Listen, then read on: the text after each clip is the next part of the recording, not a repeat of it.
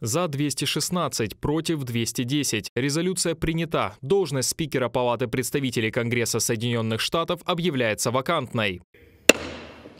Это первый случай в американской истории. Палата представителей увольняет своего лидера Кевина Маккарти. Ранее в субботу он сумел договориться о принятии временного бюджета, чем отвел угрозу шатдауна для США и одновременно разозлил некоторых своих однопартийцев. Один из них, представитель Флориды Мэтт Гетц, и внес проект решения об отставке спикера. После голосования Кевин Маккарти заявил журналистам, что ни о чем не сожалеет и больше не будет баллотироваться на пост спикера. Doing the right thing Поступать правильно не всегда легко, но это необходимо. Я не сожалею, что выступил за выбор правительства вместо недовольства. Это моя ответственность, это моя работа. Я не сожалею о своих усилиях по созданию коалиций и поиску решений. Меня воспитали решать проблемы, а не создавать их. Так что, возможно, сегодня я проиграл голосование, но выйдя из этого зала, чувствую, что мне повезло, что я послужил американскому народу. Маккарти занимал кресло спикера меньше года. Его отставка останавливает законодательную деятельность в Палате представителей. Временным спикером теперь стал республиканец Патрик МакГенри. Однако в регламенте парламента США не сказано, как долго может работать временный спикер